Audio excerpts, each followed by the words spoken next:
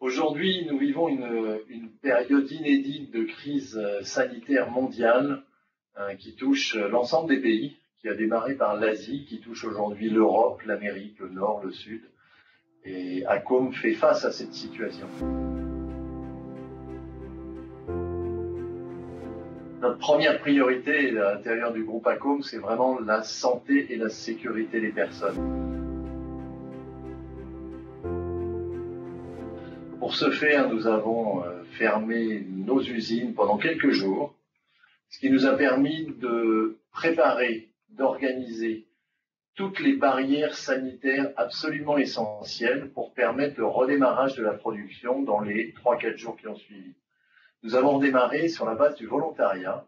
Toutes les personnes rejoignant le site industriel ont été formées pendant 1h30 à toutes les conditions pour respecter ces barrières sanitaires et garantir la protection et la sécurité des personnes. Aujourd'hui, nos sites industriels fonctionnent.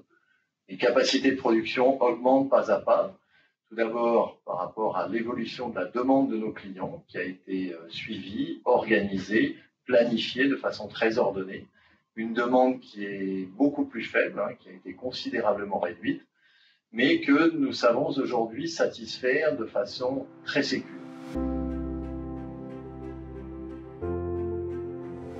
Le gouvernement français a insisté sur la nécessité de la filière de l'industrie des télécommunications euh, dans son rôle essentiel pour assurer la continuité de la vie de la nation.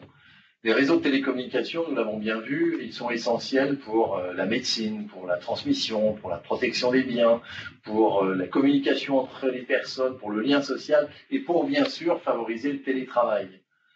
Nos usines ont été euh, sollicitées et sont toujours sollicitées pour contribuer à la maintenance des réseaux de télécommunications, par exemple dans les réseaux cuivre, où on a fourni un certain nombre de, de produits et de câbles, et puis pour répondre à la demande de, communication à très haut débit à travers les câbles à fibre optique. Nos usines aujourd'hui fonctionnent. Elles sont capables de répondre à tous les besoins de ces nouveaux types de véhicules. Elles redémarrent progressivement. On a vécu le redémarrage tout récemment de nos usines euh, au cœur de cette crise sanitaire à Voran en Chine. Notre usine au Maroc, en Europe, ici à Mortain, et au Brésil euh, se remettent à fonctionner. Elles démarrent progressivement et elles répondent aux besoins des clients que nous servons soit directement à partir de nos usines, soit à partir de nos plateformes logistiques réparties à travers le monde.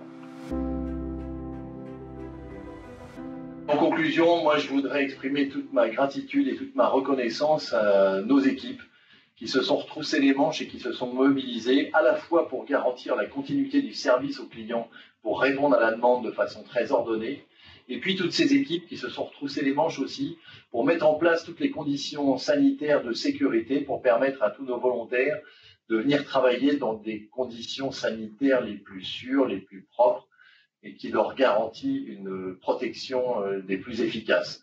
Voilà, je voulais absolument les remercier et les féliciter et leur tirer un coup de chapeau.